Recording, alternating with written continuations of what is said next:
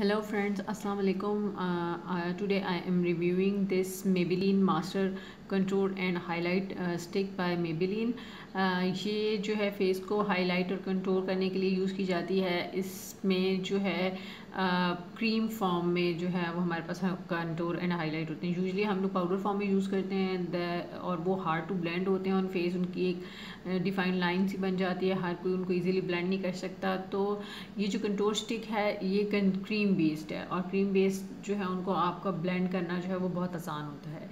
I am using it since long और मेरा इसके साथ एक्सपीरियंस जो है वो बहुत अच्छा है। मुझे यूजली अपने फेस को इतना ज़्यादा कंट्रोल करने की ज़रूरत नहीं पड़ती because I have define lines but फिर भी for a complete makeup look look I use this contour and highlight stick highlighter जो है यूजली मैं uh, थोड़ा शिमली भी यूज़ कर लेती हूँ but this is the matte creamy matte contour stick जो है वो है।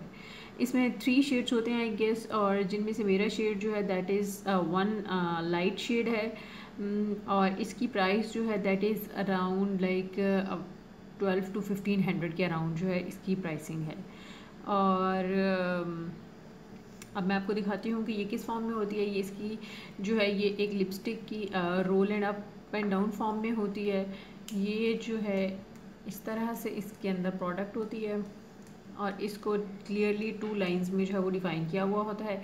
एक साइड जो है वो आपकी कंटूर होती है दूसरी जो होती है आपकी हाईलाइट साइड होती है। और ये आपकी लाइक अगर आप इसको डेली बेसिस पे यूज़ करें तो ये आपकी अच्छी खासी चल जाती है। मैं आपको ये शेड दिखा देती हूँ कि ये आ, किस तरह से प्रोडक्ट होती है। This is the highlighter contour और ये इसका हाईलाइटर है। लाइक ये बहुत ज़्यादा डार्क शेड नहीं है। कभी कभी मुझे अगर कंट्रोल थोड़ा ज़्यादा करना पड़े तो मुझे इसके टू टू थ्री कोर्स जो हैं वो अप्लाई करने पड़ते हैं but still it is okay for me अब मैं आपको इसकी ब्लेंडिंग दिखा देती हूँ। So if you want to see the blending इसकी ब्लेंडिंग आप सिंपल फिंगर से भी कर सकते हैं और देखें, एक लाइटर सा जो है, वो इसका इम्पैक्ट है। अगर आप लाइट सी जो डेली बेसिस की जो है कंट्रोल करना चाहें तो ये इसका शेड है। बट फॉर uh, लेकिन इसका जो हाइलाइटर है दैट इज़ लिटर मतलब उसको आपको इतना ज़्यादा अप्लाई नहीं करना पड़ता but contour is little light जैसे कि मैंने यहाँ पे भी अप्लाई किया है तो आपको अगर ज़्यादा हाई कंट्रोल चाहिए तो दो तीन कोर्स अप्लाई करने पड़ेंगे. बट देखिए आप इट इज़ वेरी फाइनली मतलब बहुत फाइनली ब्लेंड हो जाता है. आपकी बहुत क्रीमी मेट इसका टेक्सचर होता है और ये आपके फेस पे जो है बहुत अच्छे से बैठ जाता है. आपकी कोई क्रीज नहीं बनती इसकी. और आपको ज़्यादा एफ़र्ट नहीं लगानी पड़ती इसको जो है वो कंट्रोल करने के लिए या आपको ब्लेंड करने के लिए अपने फेस के साथ। तो देखें, ये हाइलाइटर है इसका और दिस इज़ क्रीमी मेट इसको, इसका बिल्कुल मेट टेक्सचर है।